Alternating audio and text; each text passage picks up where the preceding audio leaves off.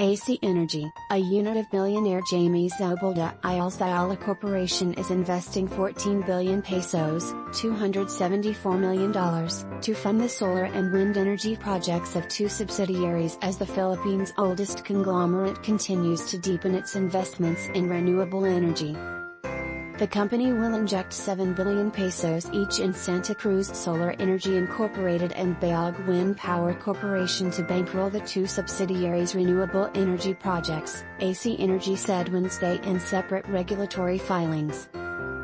Santa Cruz Solar is developing a 283 megawatt solar farm in Zambales province, about 255 kilometers north of the Philippine capital of Manila. This will be the country's largest solar farm and its capacity could potentially be expanded to as much as 700 megawatts, AC Energy said.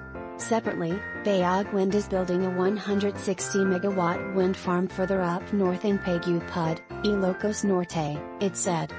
AC Energy also owns the 52 megawatt wind farm in Bangui, Ilocos Norte, which started commercial operations in 2005.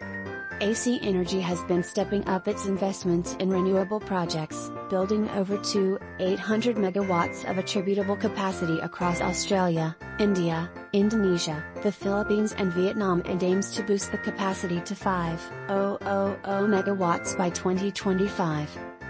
The investments in these projects will help AC Energy fulfill its goal of becoming the largest listed renewable energy platform in Southeast Asia, Chairman Fernando Zobel de Ayala said in the company's latest annual report.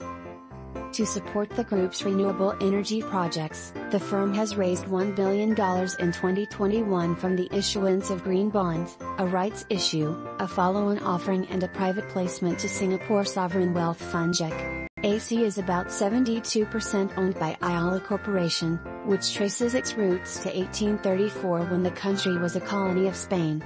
Fernando's great-grandfather started a distillery in Manila and then expanded into banking, hotels, real estate and telecommunications.